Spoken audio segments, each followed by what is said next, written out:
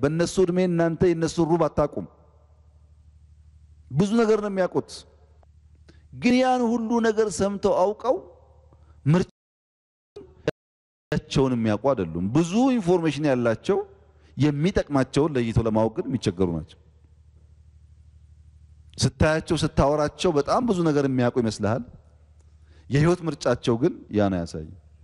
የቅርብ ሩቅ መሆናቸው ብቻ ሳይሆን በሚያውቁት ልክ መጻኢ ነገራቸውን የማይወስኑ ይሄ ጄኔሬሽን አልፋ የሚባለው ብዙ መረጃ የሰበሰበ ስለ ብዙ ነገር መተንተን የሚችል ብዙ ነገር እንደሚያውቅ ከንግግሩ የሚታወቅ በህይወት ምርጫው በራስን በመቻል ቤተሰብ በማስተዳደር ግን የማይታመን አንዳንድ አባቶች ለፍተው ለፍተው ለፍተው ሀብት ያከማቻሉ። ልጆቻቸውን እንግሊዝ ልከው አሜሪካ ልከው ያስተምራሉ ሳይማሩ።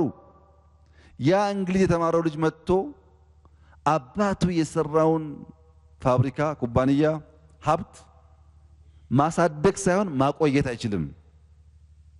ይበላዋል፣ ያጠፈዋል። መማሩ፣ እንግሊዝኛ መናገሩ፣ የአውሮፓና አሜሪካን ከተሞች መናገሩ አባቱ ሳይማር ያፈራውን ሀብት ለማጥፋት ከሆነ ምን ያደርጋል? ምን ትርጉም አለው? ትውልድ እያንዳንዳችን ቤት ውስጥ የሚገባ ነገር ስለሆነ በዚያ መነጽር ማየት ጥሩ ነው። በዓለም ላይ ምዕራባውያን እንግዲህ X Y lost baby boomers እያሉ ከፋፍለውታል። የእኛን ደግሞ ሀገር እንመልከት። ኢትዮጵያ ውስጥ ምን አይነት ክስተት ነው ትውልድ የፈጠረው? ምን ምን ሁኔታዎች አሉ የፈጠሩ ትውልድን? አንደኛው የአድዋ ድል ነው። የአድዋ ትውልድ የሚባለው ጀግና ነው። መሸነፍን የማይቀበል በአንድነት የሚያምን ሀገራዊ ኩራት ያለው ኢትዮጵያዊነት የኩራት ምንጭ አድርጎ የሚያይ ቢርበው ቢጠማው እንኳን ለማን መናገር እንዳለበት የሚያቅ ስለ ራበው ብቻ እየዞረ ራበኝ የማይል ኩሩ ጀግና ትውልድ ነው። ኩነት ነው። ትውልዱን በኋላ መጣበታለሁ። ክስተቱን ማነሳላችሁ።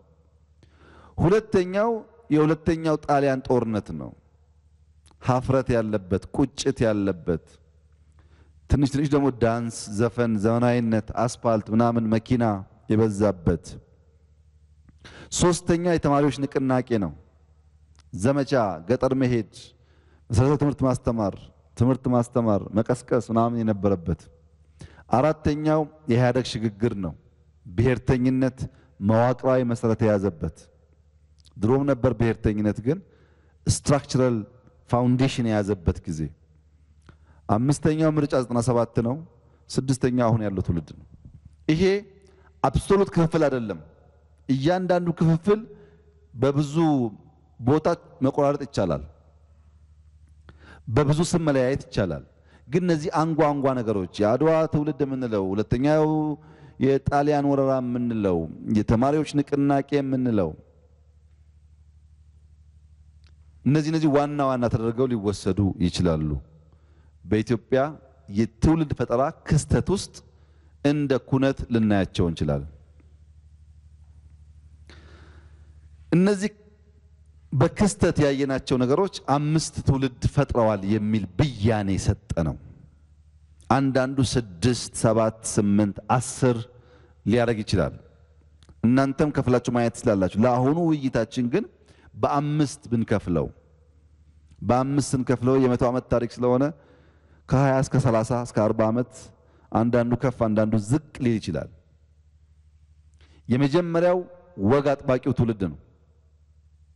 ሁለተኛው ህልመኛው ትውልድ ነው። ሶስተኛው ውል አልባው ትውልድ ነው። ሶስት አራተኛው ባይተዋሩ ትውልድ ነው። አምስተኛው የመደመር ትውልድ ነው። ይሄ የኛ ብያኔ ነው። አንዳንዶች ወግ አጥባቂ ያልነውን በሌላ ስያሜ ሊጠሩት ይችላሉ። ወይም ባይተዋር ያልነውን የተሻለ ስም ሰጥተው ሊወያዩበት ይችላሉ። ለእኛ ውይይት ለዛሬ ውይይታችን እንደ ብያኔ የወሰድነው ግን በአምስት ከፍለን ትውልድን በእነዚህ ስም ብናያቸው ምን አይነት የታሪክ ኩነቶችና የትውልድ ፍሰት እንዳለ ለመገንዘብ ያግዛል የሚል እምነት አለኝ። ወግ አጥባቂው ትውልድ ይሄ የዘመናዊ ኢትዮጵያ ታሪክ የመጀመሪያው ትውልድ ነው። መንግስት ሚኒስቴር ተብሎ የወሬ ሚኒስቴር፣ የጦር ሚኒስቴር ምናምን ያሉበት ministerial structure የያዘበት ዘመን። ነገር ግን ነባሩን ወግና ስርዓት ያለቀቀ ለመጀመሪያ ጊዜ መኪና ያየ፣ ለመጀመሪያ ጊዜ ስልክ ያየ፣ ለመጀመሪያ ጊዜ ሆቴል ገብቶ ብር ከፍሎ ምግብ መብላት የጀመረ እነዚህን ዘመናዊነት የማየት እድል ያገኘ ነገር ግን ባህሉን፣ እምነቱን፣ ወጉን ደግሞ ያለቀቀ። የውጭ ሀገር ትምህርት በተወሰነ መካፈል ፈረንጅ ጋር የመገናኘት እድል ያገኘ በሁለቱ የጣሊያን ጦርነቶች ተጽዕኖ ስር ያለፈ። ስለዛ ጦርነት እያወራ ስለ ጀግንነት፣ ስለ ባንዳነት፣ ስለ መሳሪያ፣ ስለ አየር፣ ስለ ቦምብ እያወጋ እየተወያየ ያደገ አንዱ አባቱ ጦርነት የተካፈለ እሱ ልጅ የነበረ ያልተወለደ ሊሆን ይችላል። አባቴ እኮ በአንደኛው ጣሊያን ጦርነት እንትን ሄዶ ብሎ ያን እየሰማ እየተናገረ ያደገ በአገር ፍቅር እልህና ቁጭት ያለው በሀገሩ ሲመጣበት የማይችል ሀገሩን የሚወድ ለሀገሩ ያለው ጥልቅ ፍቅር በምንም ገንዘብ የማይሸረሸር የእነ ከበደ ሚካኤል ትውልድ የእነ ሐኪም ወርቅነ ትውልድ የእነ ነጋድረስ ገብረ ባይከዳኝ ትውልድ የእነ ተክለ ሐዋርያት ተክለ ማርያም ትውልድ የነ ኦኔስሞስ ነሲብ ትውልድ ማለት እነ ገብረ ሕይወት ባይከዳኝ ስለ economic ፍልስፍና ስለ መንግስት አሰራር ያኔ የጻፉት ያሰቡት የተወያዩት በመጽሐፍ መልክ ያስቀመጡት ነገር ዛሬ ስትመለከቱት to some extent enlightened የሆነ devoted የሆነ የነበረው አውድ እንደዛ ለማሰብ የማያስችል ቢሆንም ወጣ ወጣ ያሉ ሰዎች የነበሩበት ትውልድ ነው። ከዚህ ትውልድ ብዙ የምንማረው ነገር አለ። አንድ ነገር ሲፈልግ ሲመኝ ራሱን እንዴት ሰጥቶ ለዚያ ነገር ታማኝ ሆኖ እንደሚሰራ በነገራችን ላይ ለንጽጽር እንዲመቻችሁ አሁን ያለው ትውልድ ይሄ ትውልድ እዚቹ ቤት ውስጥ ሲነጋገር ይስቃል፣ ያጨበጭባል፣ ያወድሳል፣ ያሞግሳል። ለሻይ ሲወጣ ያማል። ይሄኛው መታመን ለራስ መሆኑን አያውቅም። እነዚህ እንደዛ አይደሉም።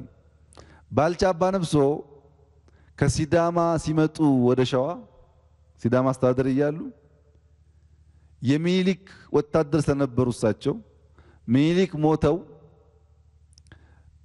አፄ ኃይለ ሥላሴ ሳይመጡ ተፈሪ እያሉ ስልጣን ለመውሰድ የነበረውን ሽሚያ የሚኒሊክ አጽም ይወጋኛል፣ ሰውዬው እኮ የሉም አጽማቸውን ፈርተው ማለት ነው ብለው ታምነው ነው የመጡት ሸዋ ድረስ ከሲዳሞ በእግር በሺ የሚቆጠር ወታደር ይዘው። ሰውየው ሞተዋል፣ ግን የእምነት ሰዎች ስለሆኑ አለ ሞቷል፣ ያየኛል፣ አያየኝ ምናምን አይሉም አይሉም።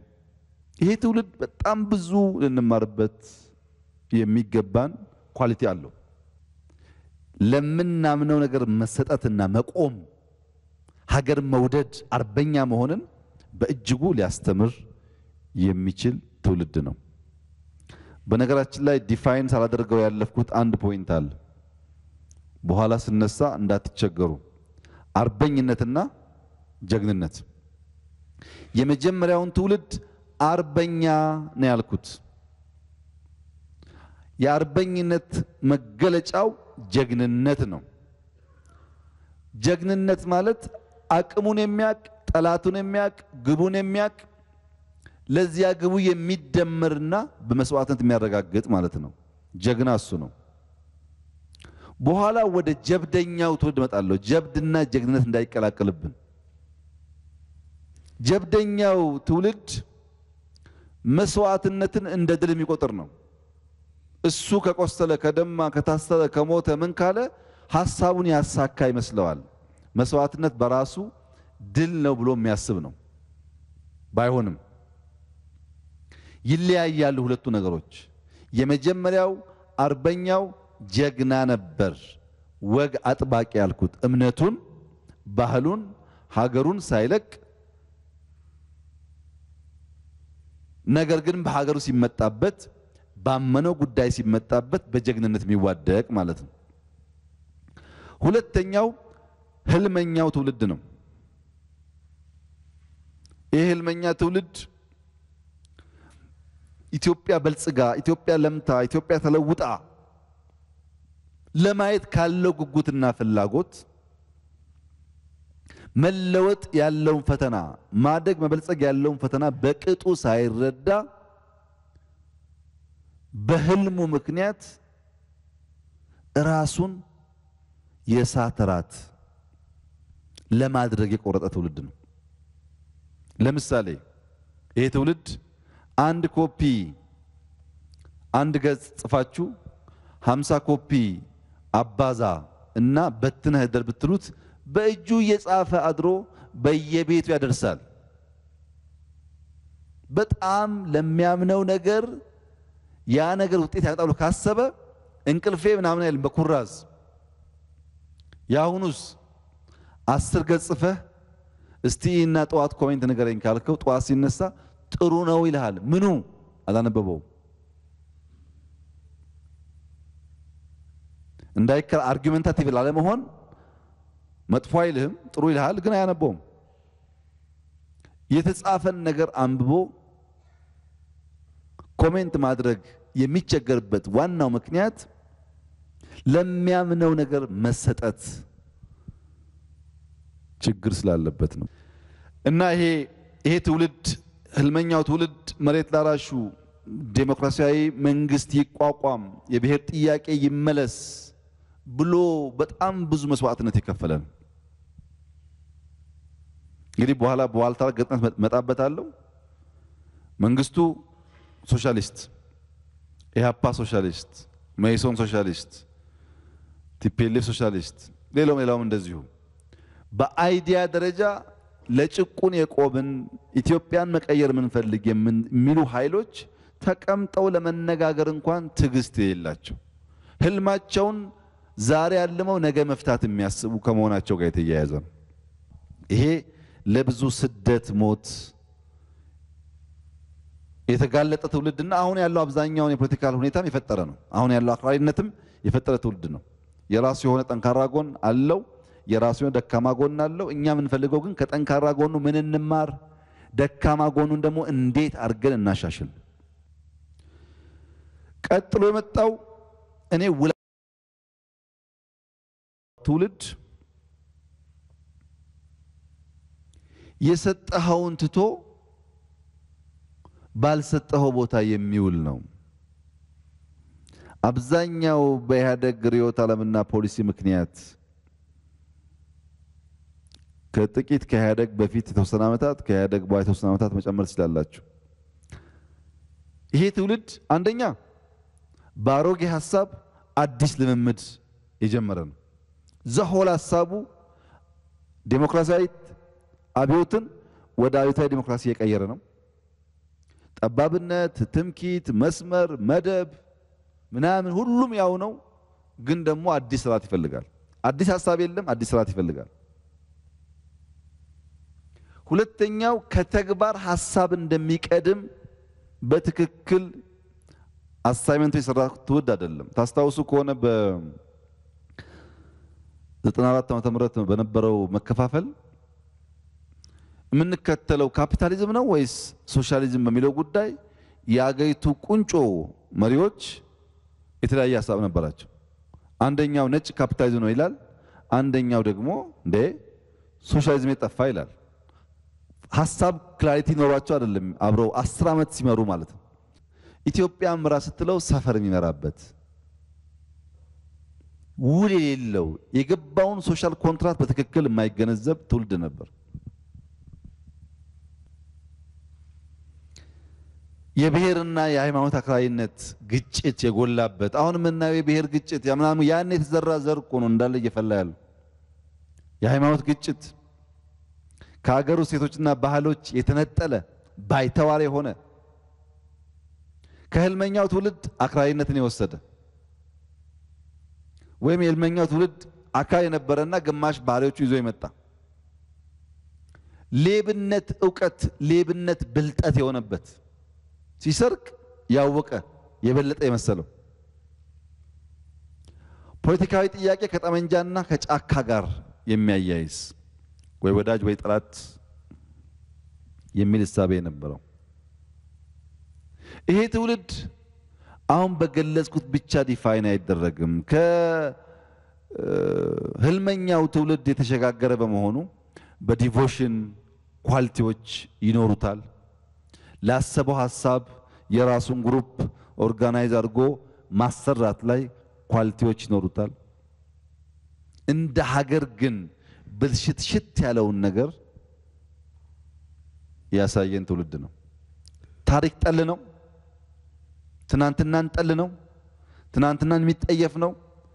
ትናንትናን ተጠይፎ foundation አፍርሶ ሌላ አዲስ ማንነት ደግሞ ለመፍጠር የሚጠር ነው። ለዚህ ነው ውል አልባ ያልኩት። ሀገር ይወዳል እንዳትል አንዳንድ ነገሩ አይመስልም። ሀገር ይጠላል ደግሞ እንዳትል political power aspire አድርጓል። ራሱን ይወዳል እንዳትል አባቱን አያቱን ይወቅሳል፣ ይረግማል።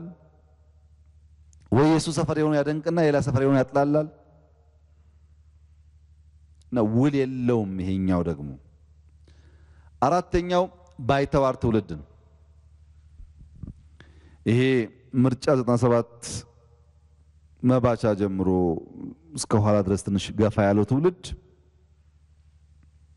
የተቀላቀለ የትግል ስልት የሚከተል ነው።